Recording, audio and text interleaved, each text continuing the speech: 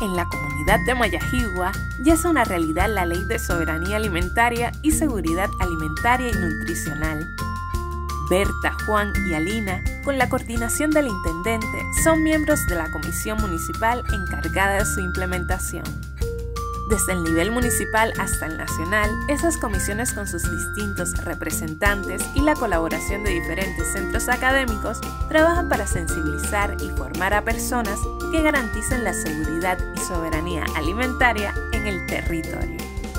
Para la efectiva implementación de la ley, los diferentes grupos liderados por diversos ministerios trabajan para el cumplimiento de cinco ejes estratégicos la consolidación de sistemas alimentarios locales, la disminución de la dependencia de las importaciones de alimentos e insumos, la garantía de la calidad e inocuidad y disminución de las pérdidas y desperdicios, la movilización de sistemas educacionales, de la cultura y de la comunicación para fortalecer la educación alimentaria y nutricional y la participación de mujeres y juventudes como eje transversal.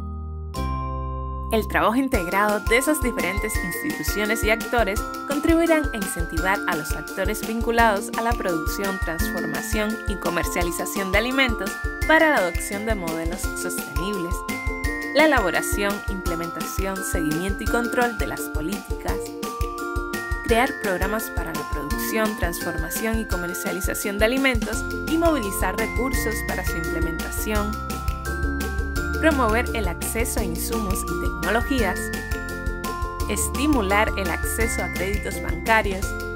desarrollar actividades de investigación, desarrollo e innovación